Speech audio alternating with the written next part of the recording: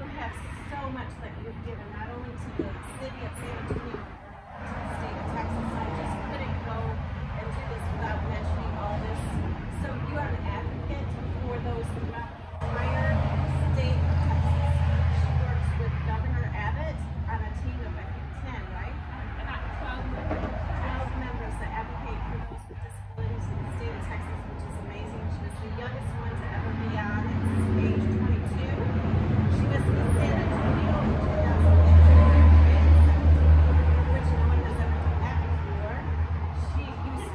All around the country, right? And, that, and the other fun thing is you have a show with Kate.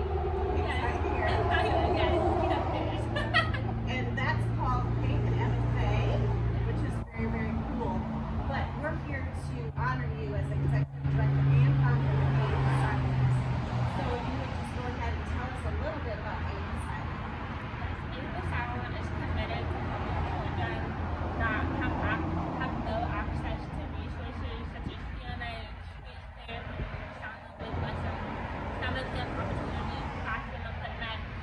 It is so important to see the unreached deaf children and be able to provide these kind of resources. So we have clinics where we go to the families, but actually our team is heading to the Rio Grande Valley and provide 19 children with DNA. DNA can cost anywhere from $3,000 to $10,000 and most insurance and mainly Medicaid that not cover DNA and use them as a cosmetic device.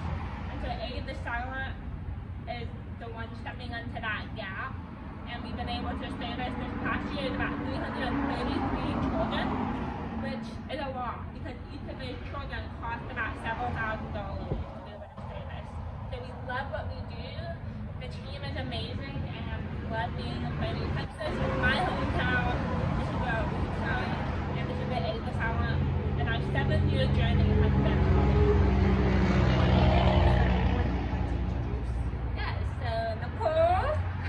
is our bookkeeping. Is you case working, the from the moment they.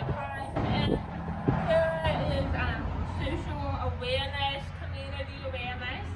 And then someone who's actually at the and she is the community outreach, Olivia, and she's getting, helping that of today get cleared and making it uh, a very special experience for her at the doctor's office. Now everybody's here. So if someone wants to contact you, reach you, possibly volunteer, possibly give money, how would they do that? So. You email info aidthesilent.com um, and just contact us through online email and you can call. We are a small but mighty team reaching a huge population and a big need. Just in San Antonio alone, uh, there's about 78,000 people with hearing loss and very little resources for them. So it's very important what we're doing. But reach out to us online, be a part of the mission and the journey with us. Absolutely.